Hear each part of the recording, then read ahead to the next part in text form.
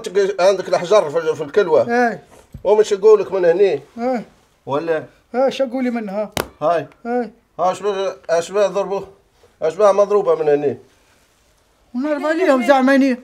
نهار مبروك. والله. لا كيفاش ينحوا كل هذا الطب راهو محل محل فين راهم الطب كيفاش ينحوا بال... الكلوة توصل ل 100 مليون. كيف يسرقوا في الكلاوي ما خلوا كيفاش؟ كل الناس كلها نهبه أنا قرعتك كحزي في راسك برا ثبت روحك. طب الحق ولا تفدلك هذه حد ليه هاد نيتك. والله العظيم الكلوة توصل ل 100 مليون يتفتوا في الكلاوي. شو شو؟ قعدت نبنش أربع سوايع يعني. يا هذا أنا نقول لك شوف زعمة زعمة. ضربوك في الكلوة. آه حليلي على النقار ضربوه في الكلوة. بالله بالحق ما تطيحليش والله ما. يطلعوا كان ضربوك في. فز بالحق. فز برا فز نفقد ثبت. روحك.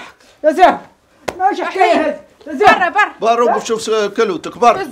زعمة. نفقد روحك والله. يا يمشي زلمة هات يمشي السروال هات السروال يا زلمة هات بعد السروال عليك يا كده. زلمة هات السروال برا شوف كلوتك هزوا لك الكلوة. ها زعمة. نقار اخويا حليلي زعمة هالجرة هات المشومة بتاع خالك يا زلمة شوف الكلوة برا اخلت شوف الكلوة يا بتاعك زلمة هات السروال يا زلمة هات السروال هات أتغطى،. أتغطى. يا عليل على كلوتي يا يا زلمة. أتغطى يا نقار أتغطى. هات السروال يا زلمة وين السروال هات.